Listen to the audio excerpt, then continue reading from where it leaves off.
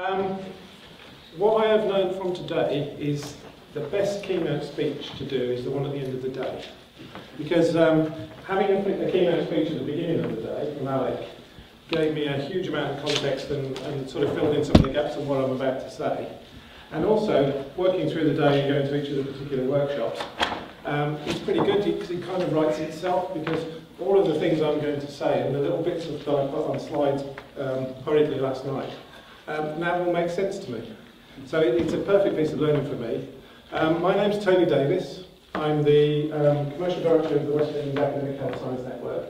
I'm going to start off by giving you a bit of background to Academic Health Science Network, and I promise I'll do it very, very quickly, because hopefully through the day you've got bored of hearing the words AHSN or Academic Health Science Network and seeing, that, seeing our logo.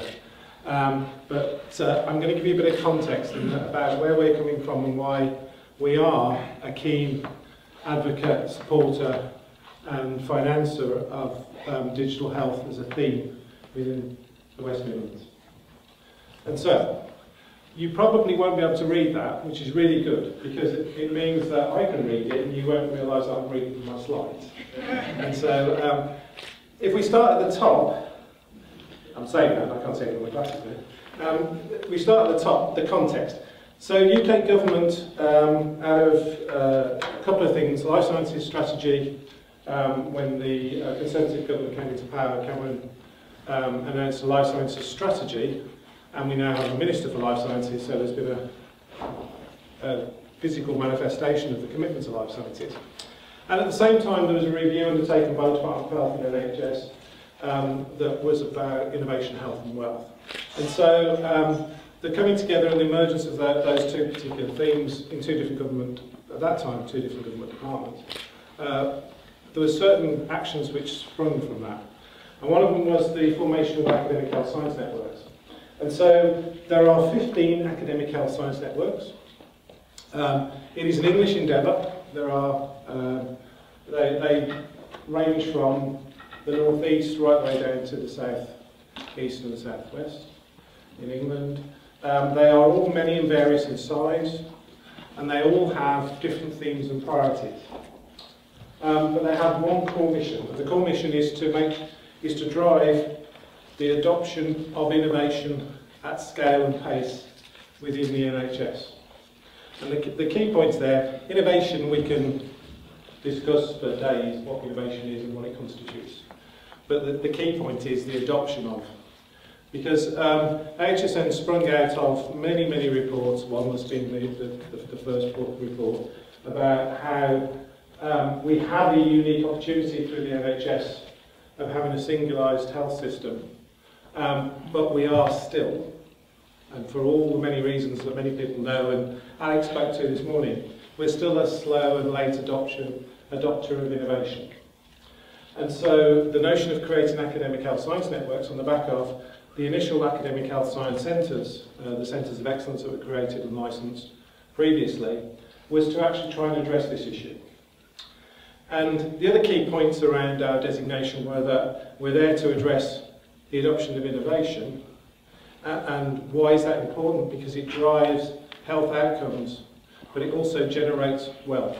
And if you think of the context of the environment, the, the, the launch of AHSNs and the, the start of the, the life science strategy and innovation, health and wealth, of the economic um, crisis that we were in at the time and the challenge that we had as an economy and, and, and our GDP contribution to health, there is an important factor around solving the, the use of innovation and the adoption of innovation because it will drive economic development, growth and wealth.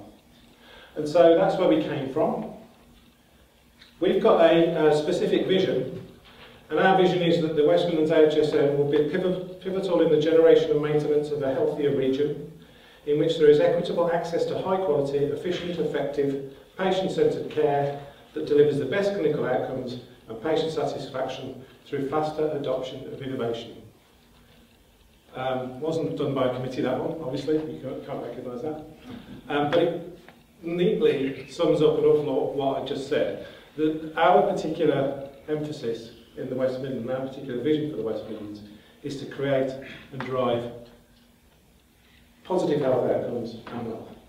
So our mission is the West Midlands AHSN will act as a catalyst to drive cooperation, collaboration and productivity between academia, business, commissioners and care providers and accelerate the adoption of innovation to generate continuous improvement in the region's health and wealth. And today is an actual manifestation of that. We, we're very, very key to our um, implementation and our de the delivery of our mission is, and our vision is the ABC, the, uh, our members of the Academic Health Science Network in the West Midlands are academic, they are business, and they are clinicians. And, and working together and collaboratively, and, and as you've seen today and heard today, um, how clinical, academic and industry collaborate, we will deliver positive health outcomes and wealth. And so our values is uh, the, the, our values are the West Midlands AHSN will maintain shared purpose and shared endeavour across its members and partners, and it will be honest, transparent, inclusive, and innovative.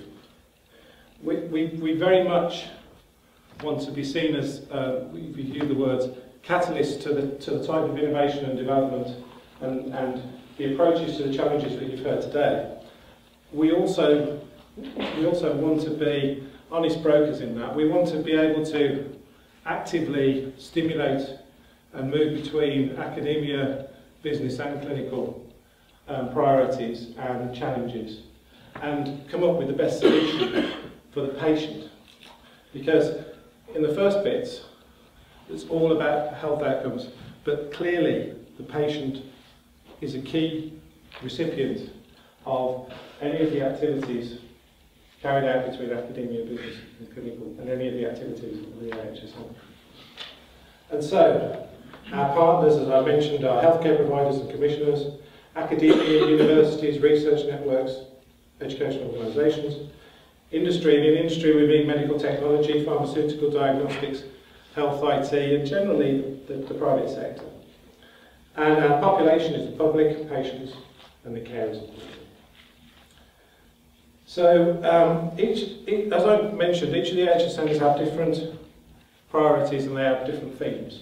And so in the West Midlands, and you'll see some of them coming out today, our, um, our particular clinical priorities that we've concentrated on in the first year, and they may change, and we have a five-year licence from NHS England to deliver uh, uh, our mission.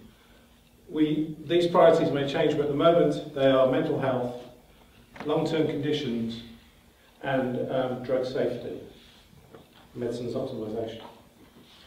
Um, and within, the, within our AHSN as well, we have some core themes.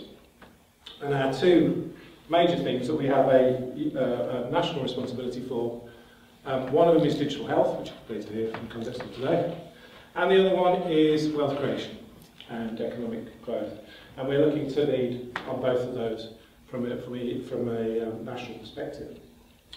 Um, we also have themes in clinical trials, integrated care, innovation and adoption, and I've, also mentioned industry and education and training.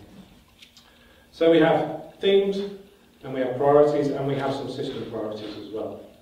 So um, we are also beginning to develop and roll out activity around patient safety. We're looking specifically at the needs and requirements of the workforce of the future. We're looking, to, we're looking at um, wellness and disease prevention, so much earlier in the um, health continuum. And we're also um, uh, developing service priority around patient experience. So putting the patient at the centre of all the things that we do. So um, how are we going to do that? So all of our themes and our priorities as they developed will pull digital solutions through them. So, so you heard this morning from the presentation, and hopefully you've heard in all the workshops today, that digital health, informatics, data, is an enabler, it's an AHSN enabler. And it always strikes me when, uh, you know, slightly in one of the workshops that um, we should probably get away from, say, digital health, because all health in the future will be digital. And I suppose if we're engaged with patients, if you ask a patient, or do you want analog health or do you want digital health? They're probably going to go digital. because that's how they chose their TV now. So uh, um, we, we, digital health is all invasive. Digital technology, data is an enabler all of our themes and all of our priorities. And so it cuts across everything that we do and is a massive importance to the AHSN and to the, to the NHS going forward.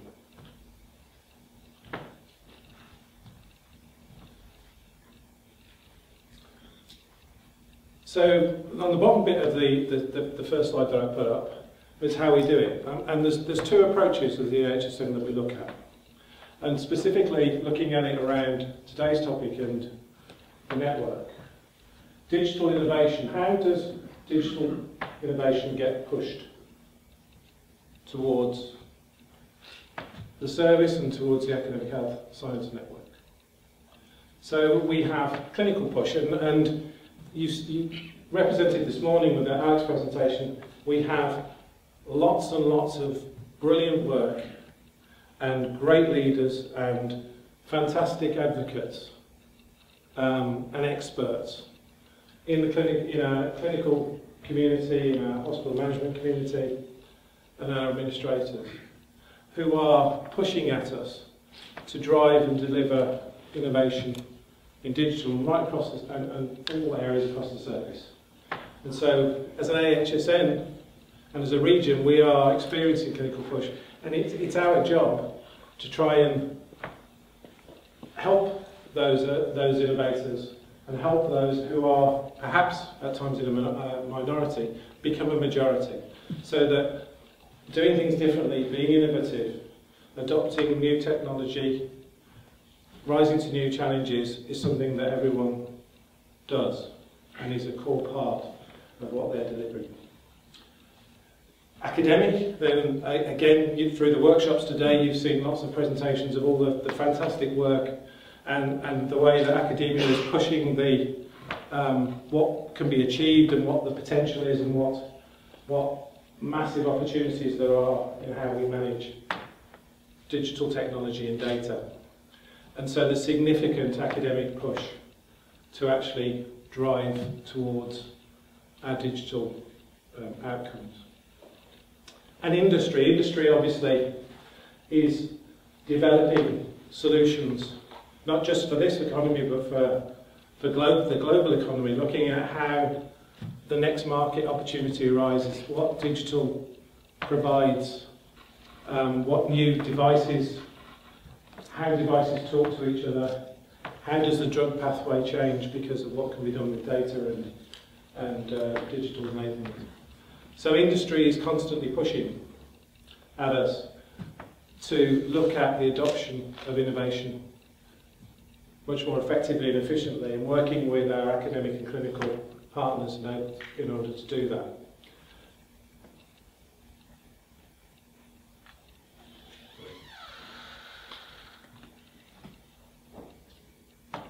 The um,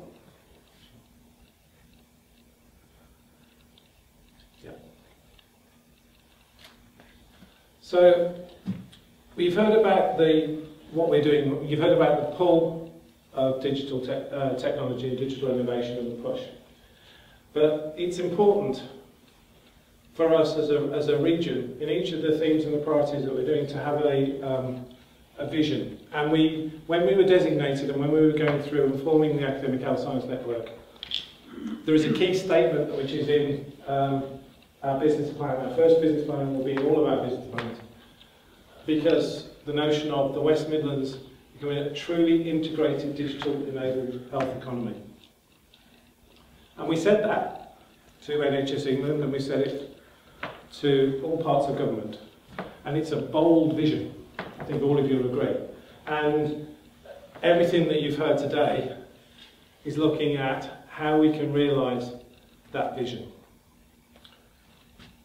But we've also heard today that there are significant challenges and there are significant things and jobs to do to be able to get there and to achieve that. And so, looking at our themes and our priorities and some of the work that we've, we've identified going forward over the next five years, how does, what are those challenges in those areas to get to that digital vision for the West Midlands. So if you look at integrated care, and this is where a lot of the things that you've heard today start to, to chime. Integrated care, if you're truly going to deliver integrated care and our digital vision, then how do you manage the organisational interfaces and exchanges of data and information um, between different complex and simple organisations? How do you get to a point where all of our hospitals talk to each other and have the capacity to be able to talk to each other and share data and have interoperability so that we can look at a whole region service to our patient population that learns and, and devi devises a digital community that can learn and engage itself and learn from practice so that the smallest providers can learn from the largest provider and vice versa. How do we actually get to the point of primary care talking to secondary care? How do we engage social care? How do we work with the local authorities and how do we work with private providers so that again the patient experience is the same wherever they are within the system.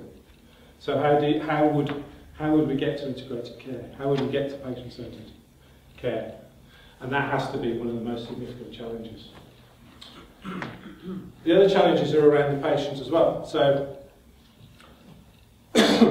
we've been given the responsibility by NHS England to, to develop patient safety collaboratives.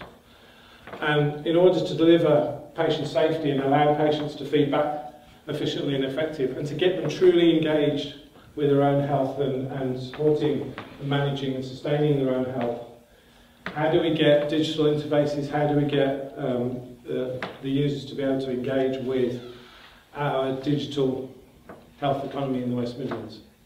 How do we use digital tools to empower the patient on their journey and inform them in a way that they can understand and that they can access? And hopefully today you've seen some examples where we, we can potentially look at getting behind these, and these examples are coming from either academia or clinical, and there are examples out in industry that we're looking at that can provide an interface to the patient journey. But joining that up so that all parts of that journey can be seen by the patient, you've heard in a lot of the workshops today, is a significant challenge and we know that's something we've got to address. And how do we look at the changing face of medicine and the changing face uh, of, of how um, a patient experiences their healthcare? So in parts today you've heard little bits about the genomics medicine service and genomic medicine. And, and the only way a massively disruptive and transformational opportunity to deliver personalised, targeted healthcare to, to patients can only be driven by the use of universal informatics and data.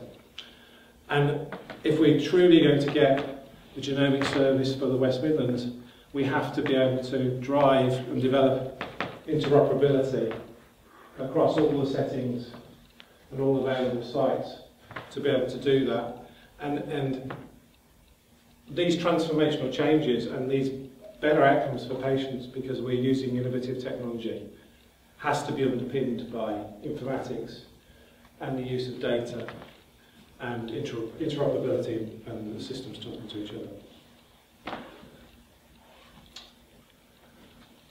So how are we looking to do this? And, and I'm not the last speaker. Thea's going to, Thea's going to talk to this. Um, but just to, just to set, him up, set it up, um, we need and we have put into place the West Midlands um, to put into place strong strategic and operational leadership in order to deliver that vision.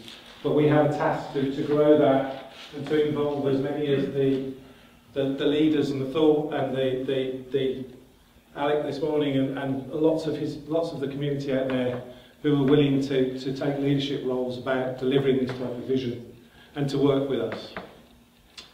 And this event today and, and the WIN network, which we've, um, we've supported in, in this first year, is really, really important. Because in order to do this, we need a network that stimulates digital push and responds to the digital pull that I talked about we need that to build regional digital enabled integrated health economy that our population needs. We need to know where there is excellent excellence already being developed out there and if it can fit if it fits in to that overall vision we need to be able to work with it and develop it as an. So, uh, Thank you. Just in time, my voice is going.